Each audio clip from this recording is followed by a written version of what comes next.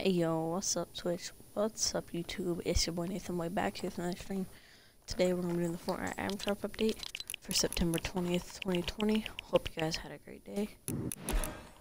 Here is today's item shop. Street Storm pack still here. For Dark Reflections pack is still here. We have the Summer Drift skin back with the back the Uzi default shirt with the dual edge harvesting tool. We have the Kitsune wrap.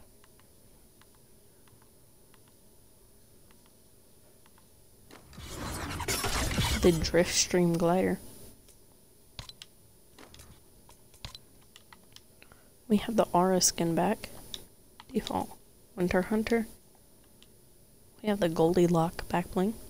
We have the Diamond Eye. We have the Guild skin back. Default Winter Hunter.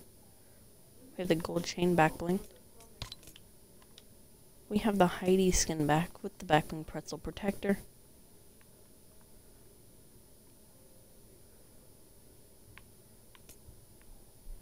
We have the Ludwig skin back with the back bling Clockworks.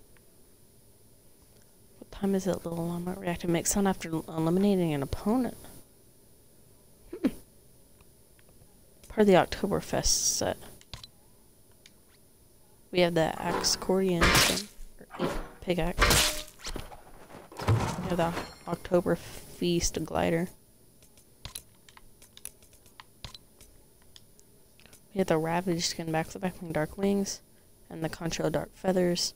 We have the Iron Break Harvesting Tool. We have the Feathered Flyer. We have the Raven skin back with the back Iron Cage.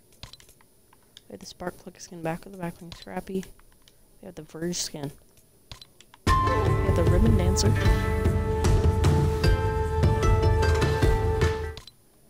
have the Lucky Harvesting Tool. And the Signature Shuffle.